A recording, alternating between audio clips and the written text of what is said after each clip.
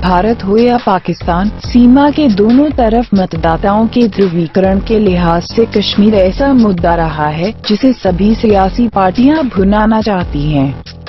लिहाजा दोनों मुल्कों के सभी दलों के घोषणा पत्र में कश्मीर के मुद्दे को हमेशा प्राथमिकता दी जाती रही है ऐसे में चौंकाने वाली खबर पड़ोसी देश पाकिस्तान से आई है, जहाँ के बड़े राजनीतिक दलों के घोषणा पत्र में कश्मीर का मुद्दा लगभग गायब दिख रहा है पाकिस्तान में 25 जुलाई को होने वाले आम चुनावों को लेकर जहाँ सियासी सरगर्मी चरम पर है, वहीं मतदाताओं को लुभाने के लिए तमाम राजनीतिक दलों ने अपना घोषणा पत्र जारी कर दिया है।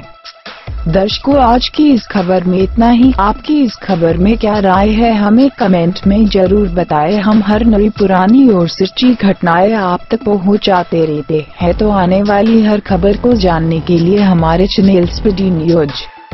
को सब्सक्राइब करना ना भूलें।